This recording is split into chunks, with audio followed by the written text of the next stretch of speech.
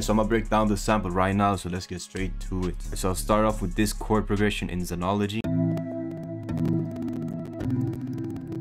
Alright, I don't know what it is, but the CPU is going crazy today, but I'm, gonna, I'm gonna break it down and then show you the wave file. So I start off with this chord right here, it's a A minor. So if I pitch down these, it's a A minor, but I pitched the middle note and the top note up one octave and also duplicated it. After that, I just duplicated it over, but I took this one, the C and pitched down a half step, and then I just duplicated it over again. But this time I took this note, pitch it down right here and then I took everything over again as pretty much the chord progression. After I had that I just took the top notes right here up one octave and placed it at every other beat. So the effects is a, just a delay tape. After that I added a portal broad preset from the distra number 2 bank and finally I pitched down the sample to semitones. So after I had that I rendered out to a audio clip. So here's what it sounds like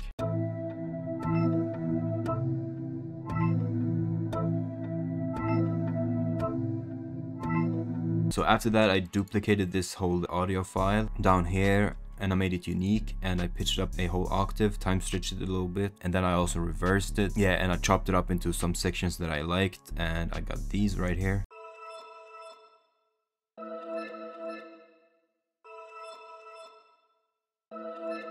So I just layered them and here's what it sounds like together.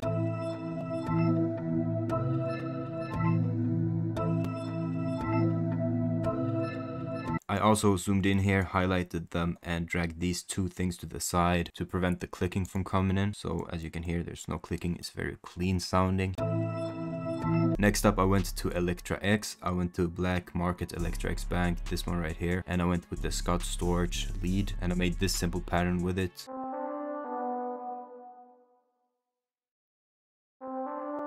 For the effects, I just added a Valhalla vintage verb and some EQ. And I also made a Zenology pattern to go along with the Electra X pattern. And I went with this preset sweep pad 4 in the basic synth bank.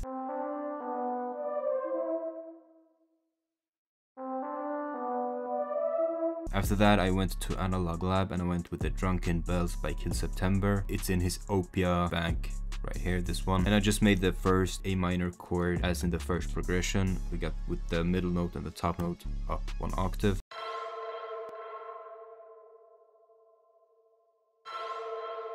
I used the same delay tape on the effect, the same reverb again on the effect, and a little EQ right here to boost some of the high high frequencies. But yeah, you know, just a chord to add some punch and add some energy at the beginning of like the bar or every other bar. And after that, I got this accent from Coop the Truth Ascension one-shot kit, and I just pitched it up 400 semitones and placed it out like this. And for the arrangement, it's pretty simple. I just had all the sounds in the beginning, removed some sounds here, here, brought back some sounds here and took out some more sounds here. And for the master I added a CLA3A compressor and then I added some Abbey Road vinyl. But yeah here's the final sample. If you enjoyed it leave a like comment and subscribe and I'm gonna catch y'all in the next video